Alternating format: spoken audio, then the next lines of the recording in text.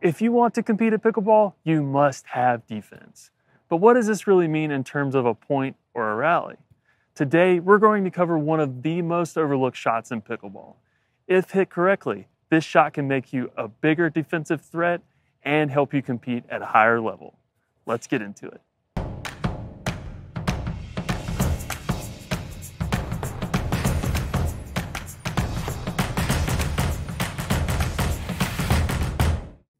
Welcome to High Five Pickleball, where we help you play better, win more, and make the most of your time on the court. My name is Adam Richards, and today we're covering the fourth shot in every pickleball rally. The first three shots in pickleball are incredibly important because they set the stage for the rally to unfold. But how you handle the fourth shot is just as important and often overlooked. Because the serve and return both have to bounce, means the returning team gets to the net first and gains an advantage.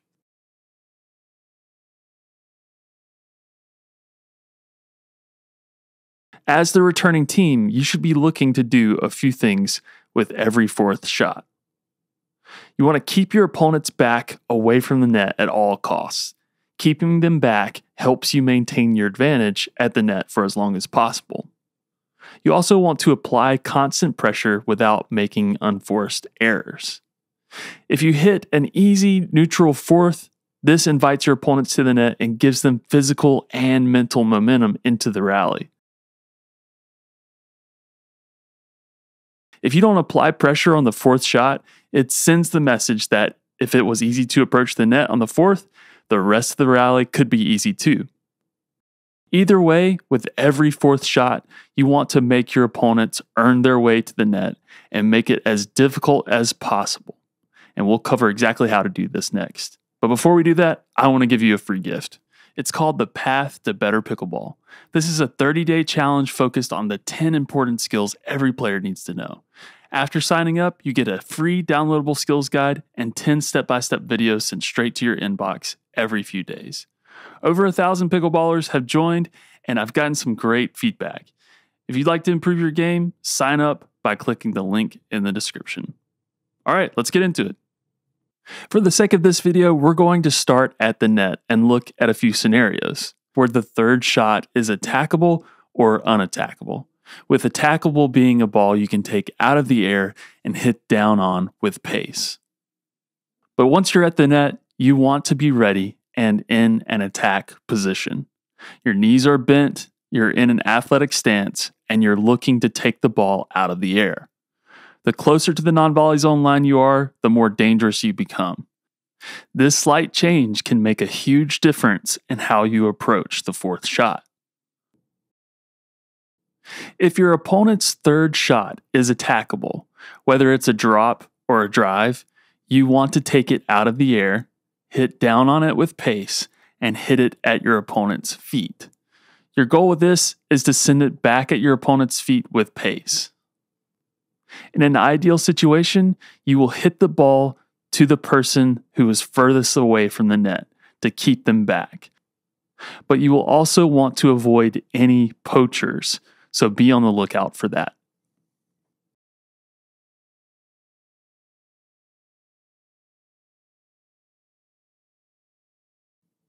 If your opponent hits a third shot drop that is unattackable and you have to let it bounce, there are a few things you can do.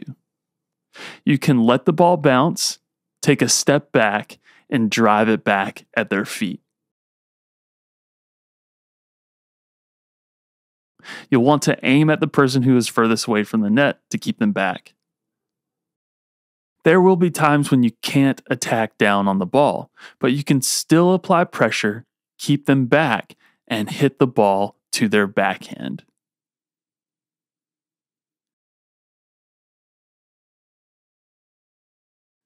Lastly, there are third shot drops that go to your backhand that you must let bounce. On these occasions, you may be stretched wide or the shot is just too good to apply pressure. Instead of forcing a shot, it's best to keep it in play and return an unattackable dink. If your opponent drives their third shot and the drive is unattackable, you want to focus on staying calm and returning the shot back at your opponent's feet. You may be tempted to hit a sharp angle or to paint the line, but this opens the door for unforced errors. It's better to block or punch the shot and return it at your opponent's feet. You also want to avoid any poacher in this situation as well, so be on the lookout. If your opponent's third shot is attackable and high, another shot you can try is to drop the ball and tap it just over the net to try and end the rally. However, if your opponents have great mobility and can get to this, this is a quick invitation to the net, so just be mindful of your opponents. Lastly, one more bonus tip.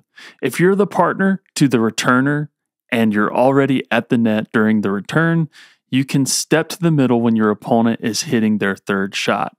This is an easy way to add extra pressure and to attack high shots. But be mindful if your opponent can hit down the line because this leaves that shot open.